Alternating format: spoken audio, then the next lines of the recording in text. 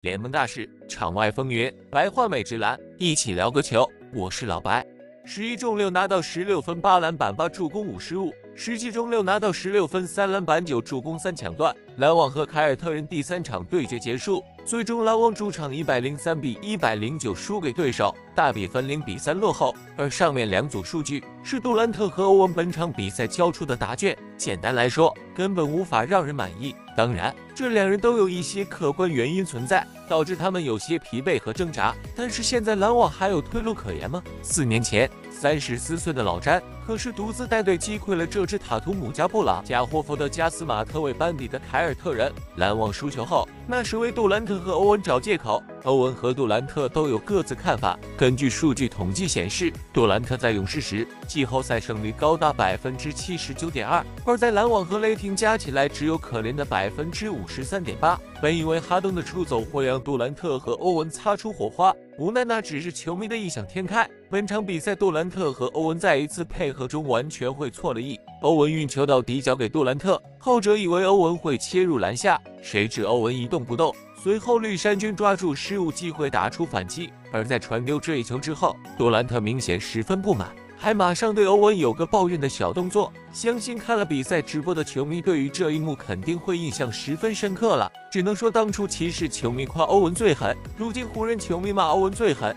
过去两场比赛中，杜兰特在 G 二下半场没有运动战运球，在 G 三最后十一分钟零出手。过去两场比赛，杜兰特一共命中十记运动战进球，但却出现十一次失误。更关键的是，杜兰特本场比赛展现出的精神状态就非常诡异。比赛中不知道是何种原因，杜兰特根本没有展现出强烈的进攻欲望，总是在传球，一遇见包夹就选择出球，放弃个人进攻，想帮助队友得分可以理解。但篮网的战术就是建立在他和欧文的单打能力基础上的，他的单打不开，篮网的战术就废掉了一半。而到了真拿球开始攻的时候，又投不进去，反过来防守端也总是防不下来。看了比赛后，很多人都有一种共识，那就是杜兰特的心态已经出现问题了，甚至是心态已经崩了，所以劲儿已经提不起来了。说实话，并不奇怪。至于为什么会出现这种情况，原因非常关键。首先是体能问题。杜兰特虽然有卓越的篮球天赋，但是他的体能一直都不算出色。从上赛季欧文被垫脚倒下的那一刻起，直到现在，他在队中基本都是既当爹又当妈，动辄打四十分钟左右，既要化身持球大核心，又要扮演防守大闸。虽然多次打出死神般的表现，但对他身体的消耗也是相当之大。别忘了，他已经三十三岁。关键是还受过大伤啊！终于面对凯尔特人极具针对和侵略性的防守，他的体能操爆了。其次是心理问题，杜兰特一直都是个敏感的人，特别在意外界对自己的看法，拼命想活成大众喜欢的模样，所以他要离开勇士，来到篮网，拉拢各路英豪，组建了一套班子，想证明自己可以作为球队老大，率队夺冠。但这个赛季，篮网的故事太过精彩，球队的一地鸡毛本就让不擅长做更衣室领袖的杜兰特心烦意乱。眼下球队又面临首轮出局，外界关于离开库里，他什么都不是的论调又高起来了。敏感的杜兰特很难不受到影响，心态失衡。赛后多位名嘴发声批评杜兰特。帕金斯，有人好奇杜兰特这是怎么了？答案很简单，他搞不过凯尔特人，斯基普贝勒斯黑杜兰特都不忘带着詹姆斯。杜兰特的表现是勒布朗式的，他被对手打到生活不能自理。斯皮尔斯也在感慨，无法想象如果是詹姆斯这么打，球迷和媒体反应会怎样？也许服务器会爆炸。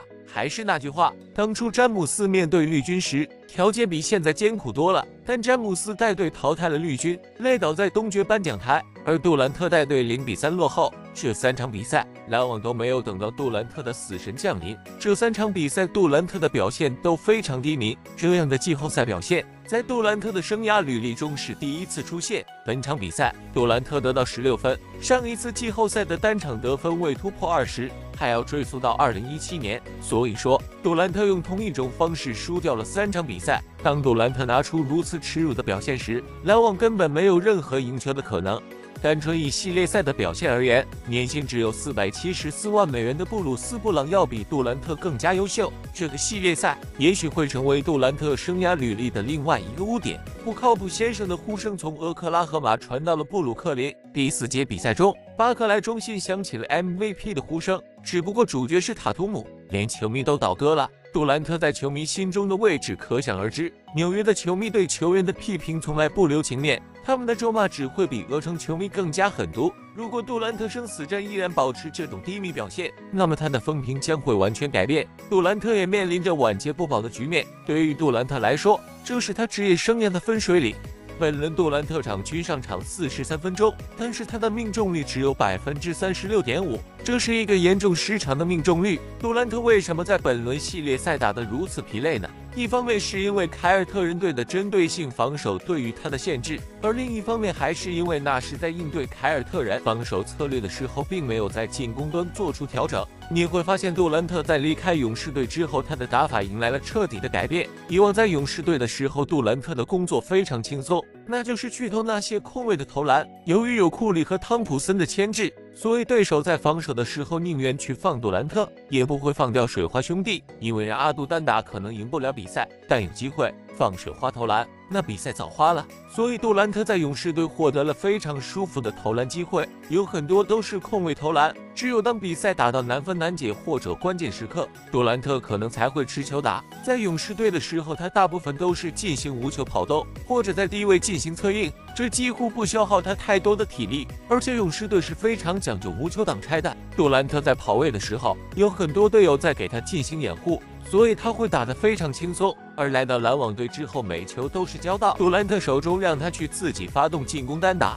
而篮网队的每次传球意图太明显了，那就是把球交到杜兰特手中，让他去终结。所以杜兰特每球都需要大量的运球，靠自己的单打去完成出手。想必打过篮球的球迷非常清楚，这种打法是非常累人的。所以这也造就了杜兰特在比赛当中如此疲累的原因。不得不说，库里才是杜兰特最绝佳的队友。库里能够给队友提供非常舒服的投篮空间，而且他的牵制力让每名队友都能够很好的受益。杜兰特当初离开勇士队可以说并不是一个明智的选择。美媒 Stat Music 将杜兰特和勇士四大球星库里、汤普森、普尔和格林列在了一起，并且调侃杜兰特真的选择离开这支球队。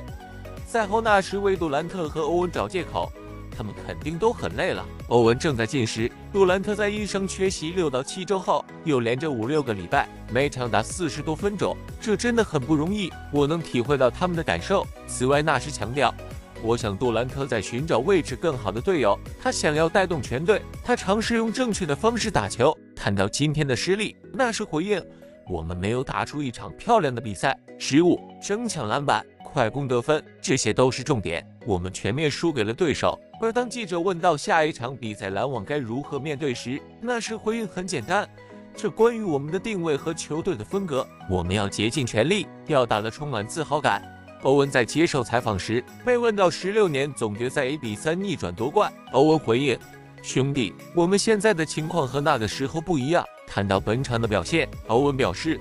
我不想用斋月进食作为表现不佳的借口，我也不想坐在这里说相关话题，需要我去承担一些责任。此外，欧文也盛赞格里芬，认为格里芬只是在今天展现了自己能力的冰山一角，期待看到更多他的表现。实话实说，欧文总想避开斋月话题，但是现在因为斋月进食已经对他体能产生很大影响。过去两场比赛，欧文几乎在下半场毫无作为，他想承担责任。前提是有力气才行。而杜兰特被问到四十六分钟只有十一次出手时回应：“也许我应该多投几次球。整个系列赛我都想的太多了。”而杜兰特强调了一点。